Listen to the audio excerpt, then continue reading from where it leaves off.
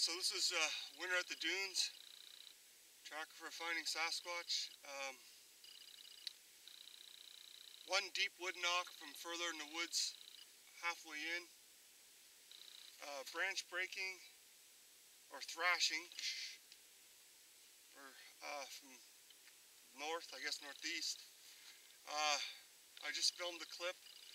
I just uh, cast a print and a half. Uh, one print had a really nice toe and like a, a claw at the top. And um, the other one just, I just cast it, a little bit extra material. I wanted to just see if there were actual toes.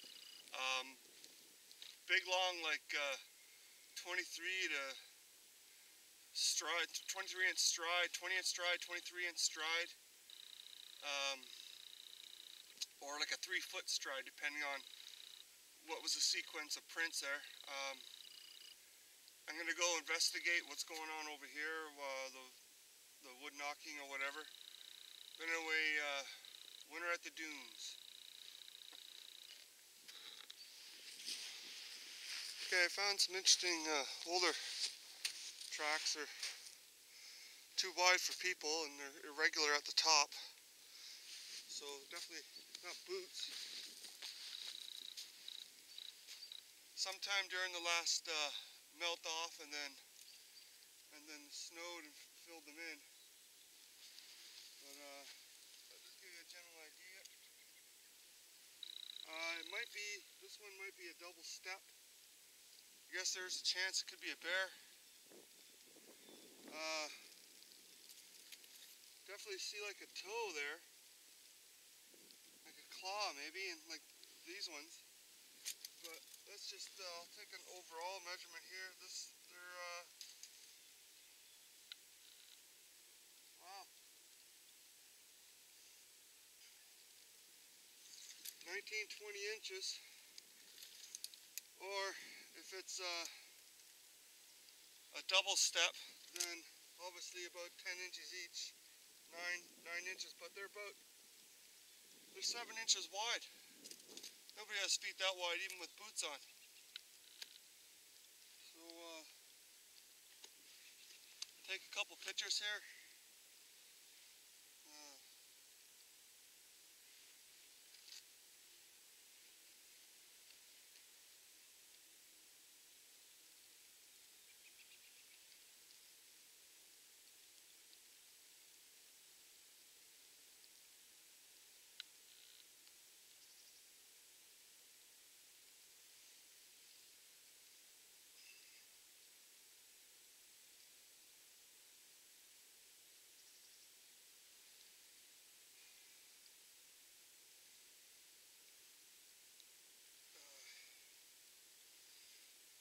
These ones definitely show some toes or something going on.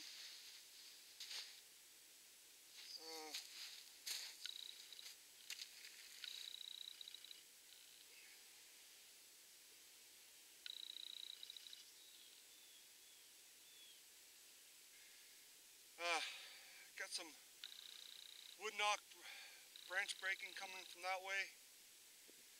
Wood knock back that way some interesting, uh, I mean I destroyed those ones, but uh, print, interesting print. Chance there's a bear, but worst case scenario is I got a casting of a bear print.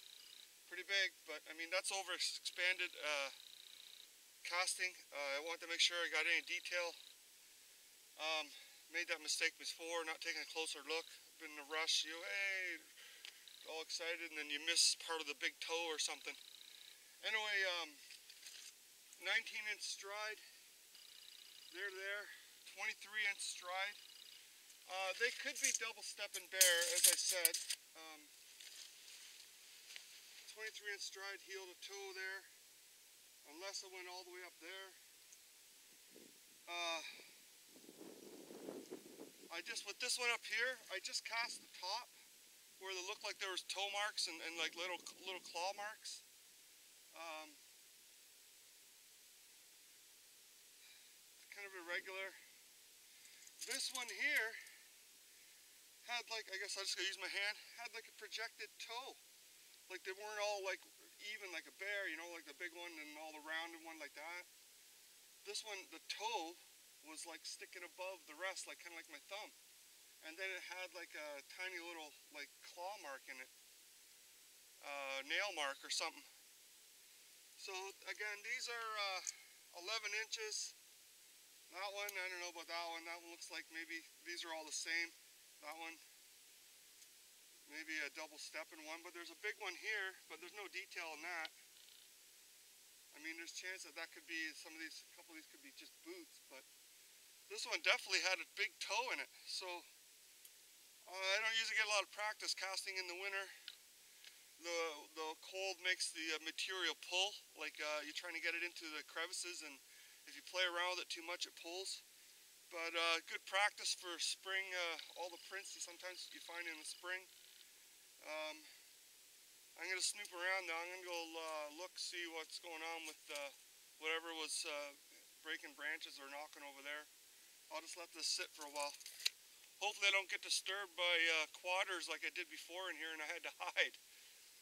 Had to hide and evade them and I did a little clip where I was by like a, uh, kind of like a, a shelter structure a bunch of trees interwound with a uh, like four white birch and uh, had to hide with the squatch and, um, and sneak out through the bush because hunters, you know, with guns and maybe they got a, some beers into them. You don't want to run into those guys.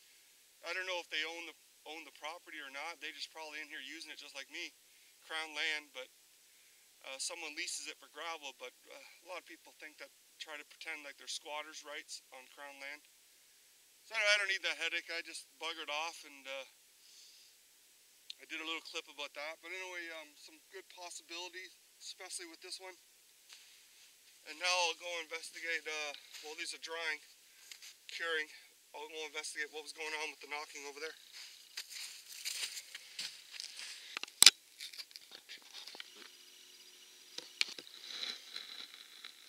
Wood knocking, thrashing of branches right up there. I heard just as I was turning the camera on. Well, I was going to talk about uh, casting a couple possible prints uh, further south on the dunes.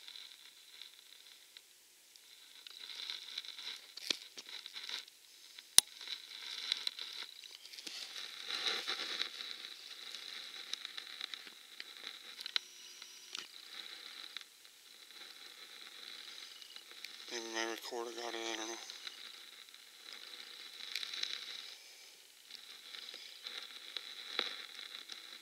Would have had on Zoom probably?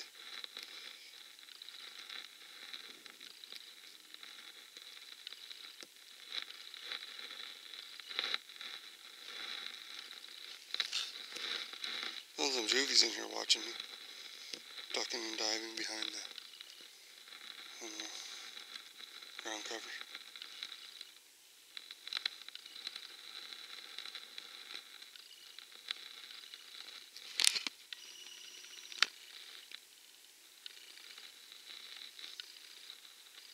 We don't give you much when there's not a lot of cover.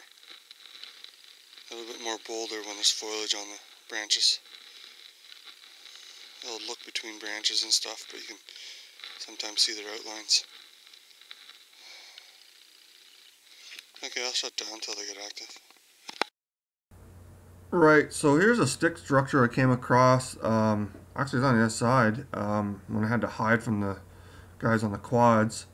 Um, it looks like there's a little juvie peek in the upper left there. I'll just throw that in. But anyway, back to the prints. Um, there seemed to be a bit of a mid-tarsal break on the on some of them, and uh, Here's what a bear print looks like in the winter, and they're definitely not bear. Bear toes are all in a row, and there's no elongated toe like in that weird one.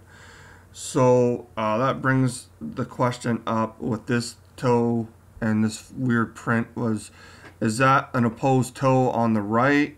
Um, is it a cripple foot? Um, the only reason I cast it was because of the, the weird shape. Otherwise, I wouldn't have. And here's what gorilla feet look like and what a human foot looks like. Here's the cripple print. And you see how it has that weird bump or extra toe on the left there. So I don't know. I, I I wanted to have it, and even though it was an old print in the sand, which doesn't leave a lot of detail unless it's really fresh, I cast it because you don't come across weird prints like this very often. And and um, the the reason um, I bring it up, uh, opposable toe, or it's called Hallux, is uh, that that's what gorillas have, is in the last still, and it helps support their weight. And um, there's a picture of the bush where thrashing was coming from, and I can see them in there. You might not be able to, but right in the center there, there's a, I don't know, big juvie looking at me, and they're doing their tricks. But I just wanted to include that. Um, you can Meldrum Sasquatch Meets Science goes into great detail about their Sasquatch prints and their foot structure. And uh, oh, here's a quick pan. There's a juvie right there, right behind that cedar, left side of that cedar, watching me do my casting. I'll run that clip again.